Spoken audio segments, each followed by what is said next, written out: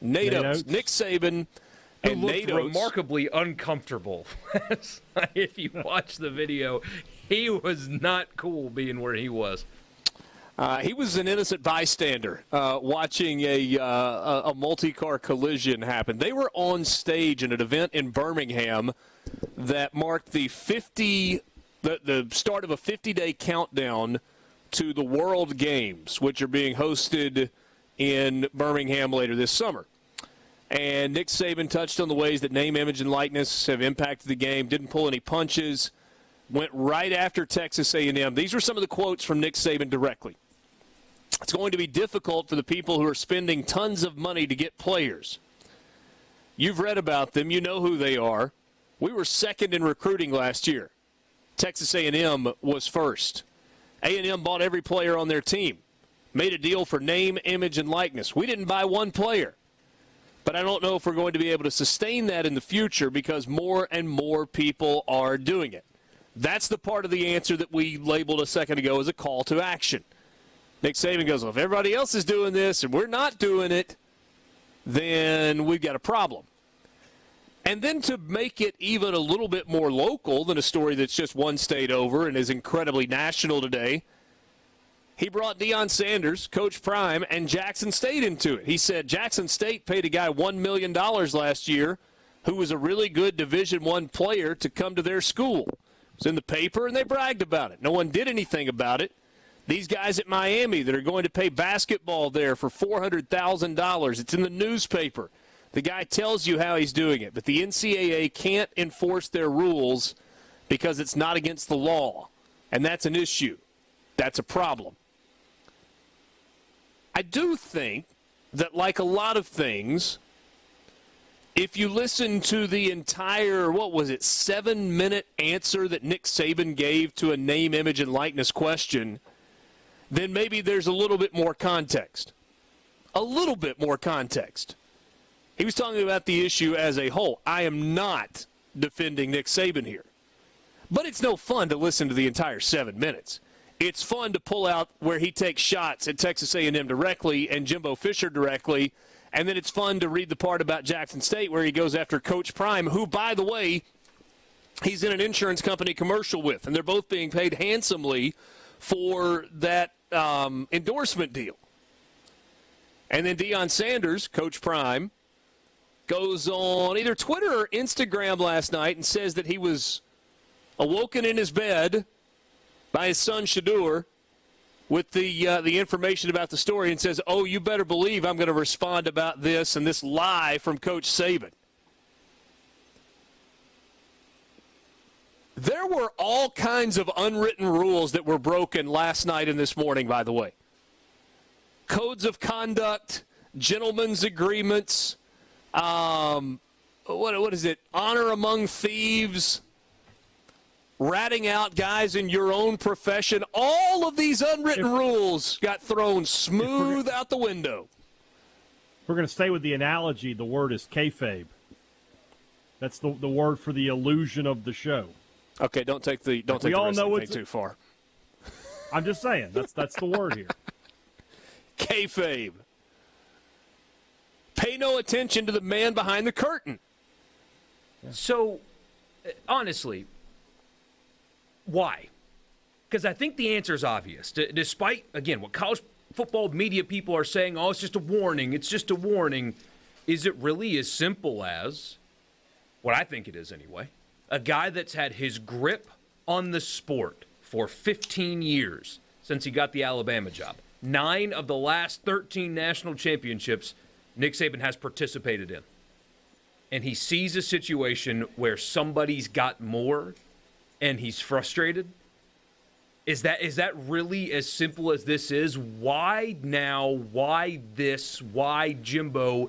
And why in such a way that is so out of precedent for the long history of dirty actions in college football involving the institution that he coaches for by the way? Why now? Is the simplest answer the right one?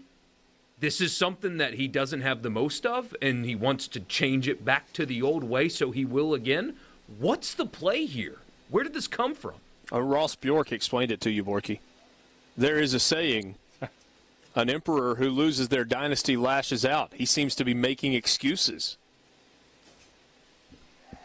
I thought he was going to go uh, like emperor with no clothes, but By the way, Yeah, I want to get uh, get to Ross and talk a while on that because I, it's impossible to be as that may be bad tomorrow. at PR as he is. It's impossible to be as bad at PR as he is. But anyway, sorry, Hayden. how lucky are we that AL.com sent a reporter to this? Like, I understand Saban speaking, and that's probably a big deal, and this World Games thing. but in today's media coverage, they could have just been like, eh, no, we're not going to go cover that. I don't think they showed up thinking they were going to get the biggest story of the offseason when they walked in the door. No, it was Michael Casagrande, right, who had the uh, video. No, Michael Ro- Michael Rodak is his. I'm sorry, Michael Rodak don't was know. the. Uh, okay. I don't know where Casagrande is. He should. Maybe be I just- This was his beat. What's he doing? Well, I saw some tweets from him last night, but maybe he was retweeting the the Michael Rodak stuff. Yeah. I don't know. I think we lose sight of the fact that the way that Alabama football and Nick Saban is covered in the state of Alabama is different than the way it's covered in Mississippi with Nick Saban and, or excuse me, with uh, Hugh. Who's the coach at Ole Miss? Lane Kiffin and Mike Leach. I think those are the two names that I was looking for. I mean, what? It, it's covered different. I mean, Nick mean- Saban. Nick Saban does not break wind in the state of Alabama without a microphone nearby to catch it. It doesn't happen.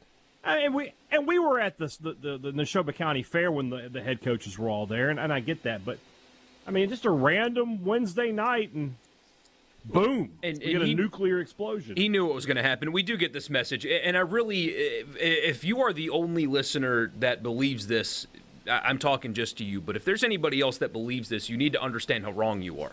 This message says maybe Saban just cares about the sport. Of course, everyone in your line of work wants to assume the worst. You say Saban cheats, prove it. Okay. I really want you to understand something. He does not care about the sport.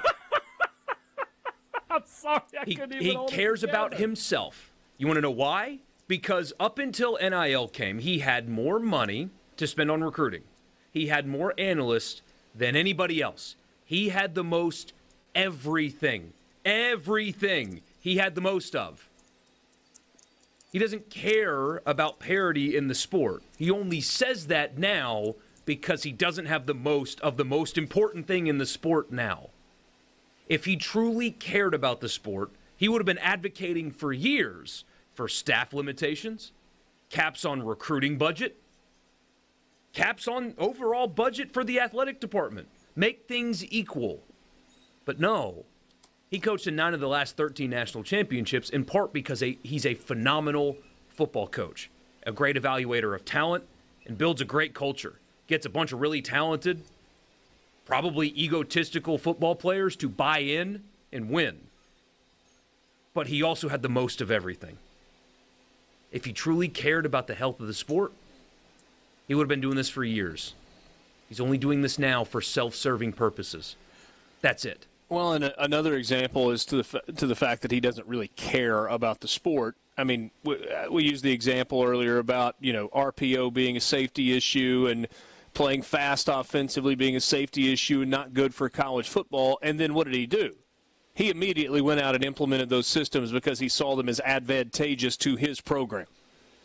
If he genuinely was concerned about those issues and the safety for his players, he would say, "No, uh, look, it, winning is the most important thing. I, I'll give you that, but actually, it's not. The safety of my players is the most important thing, and I believe in a different style of football. And so we're going to prove to you that we can win a different way." He didn't do that.